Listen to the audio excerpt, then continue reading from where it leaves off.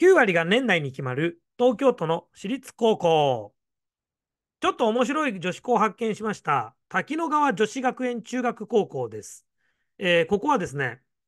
9割が年内推薦で大学決まりますっていうのを公式ホームページで宣伝してまして、今年に関して言えば、東京外大や横国に受かったよと。これは共通テストを課してない年内推薦の、まあ、学校推薦型選抜で受かってる。大変めでたいことでございます。で、他には、学習院日本女子東洋に受かったよと書いてありますが、まあ、どういう高校かということで、とにかく9割が年内推薦で決まるっていうのを受験生にも大きく PR してるんですね。まあ、コツコツ年末年始に受験勉強なんぞせんでもですね、お正月前には行きたい大学が決まる高校である。これを売りにしてるんですね。一応、表の声としては、創造性や起業家精神を育みますみたいな、綺麗なことはいっぱい書いてるんですが、ぶっちゃけて言うとここ、推薦全振りです。そして、堂々と、ペーパーテストの時代は終わったと、自ら高校のホームページに書いてあります。まあ、これだけ開き直ってればすがすがしいんで、別にいいんじゃないですか。東京だったらこういう高校入りたい人もいっぱいいるでしょうし、推薦全振り。で、1人当たり2校ぐらいしか受験してません。昔みたいに大学をこう7校も8校も10校も受けるなんてコスパ悪いですよね、お母さん。ということですね。推薦全振り高校です。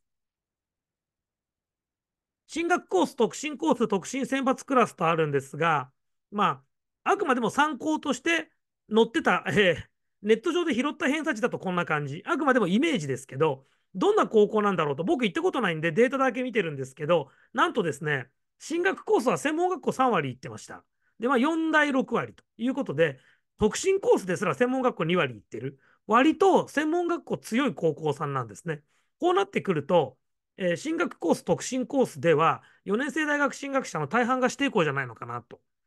で、大半が指定校で、で特進選抜クラスは全員大学行ってるとはいえ、推薦と一般の比率は出してませんが、まあ、なんせ一般は1割しかいないわけですから、あとは横国とか東京外大に推薦で行くというのは応援はしてくれるんですね。なんで、まあ、ほぼほぼ年内、総合型学校推薦だけで4大は決まってる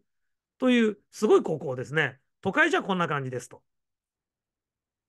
時代は変わりましたね。昔、親の時代だったら、どんな底辺とか言われる高校だろうが、大学受験をする以上は、大東亜帝国三教科一般入試、A 国社、頑張れ、頑張れ受験生キットカットというのが、ほんのちょっと前だったような気がするが、もう今は全然違いますね。